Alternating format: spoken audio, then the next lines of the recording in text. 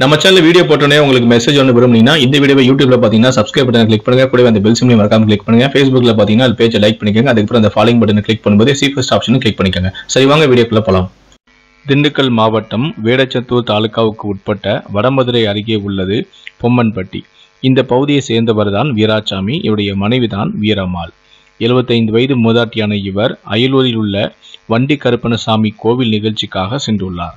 அப்பொழுது இயற்கை உபாதை காரணமாக ஒதுக்குப்புறமான மறைவான இடத்திற்கும் சென்றுள்ளார். இந்நிலையில்தான் கோவிலுக்கு வந்த மர்மமான பெண்மணி ஒருவர் மூதாட்டியான வீரம்மாளை பின்தொடர்ந்து வந்து அவர் மீது மயக்க மருந்தை தெளித்தும் உள்ளார் இதில் மயக்கமடைந்த அந்த மூதாட்டி அங்கேயே மயங்கி விழுந்துள்ளார் இந்நிலையில்தான் மூதாட்டியை காணவில்லை என கோவிலுக்கு வந்த அவரது உறவினர்கள் தேடியுள்ளனர். அப்பொழுது புதர்மண்டி உள்ள மறைவான இடத்தில் மூதாட்டியான வீரம்மாள் மயங்கி கிடந்ததை கண்டுபிடித்துள்ளனர்.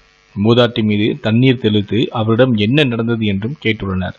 தன்னை பின்தொடர்ந்து வந்த பெண் தன் மீது ஏதோ தெளித்தாள் என்றும் அதன் பிறகு என்ன நடந்தது என்று எனக்கு தெரியவில்லை என்றும் கூறியுள்ளார்.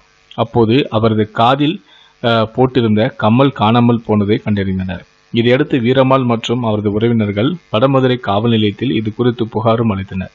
புகாரை பெற்றுக்கொண்ட காவல்துறையினர் இது போன்ற சம்பவங்களை தொடர்ந்து இந்த பகுதியில் நடைபெற்று வருவதால் காவல்துறை சார்பில் தனிப்படையும் அமைக்கப்பட்டு உடனடியான விசாரணையும் இறங்கினார்கள்.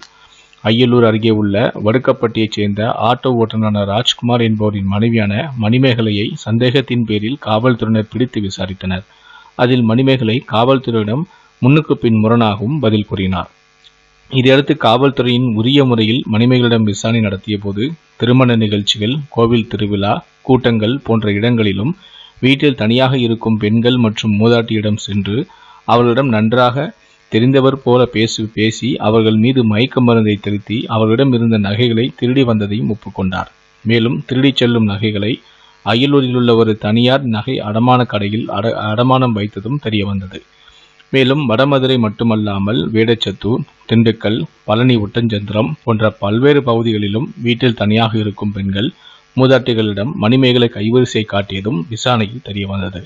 மேலும் இவர் மட்டும் சம்பவத்தில் ஈடுபட்டாரா அல்லது வேறு யாருக்கும் இந்த திருட்டில் தொடர்பு உள்ளதா என்று தனிப்படை போலீசார் விசாரணையை துரிதப்படுத்தி வருகிறார்கள்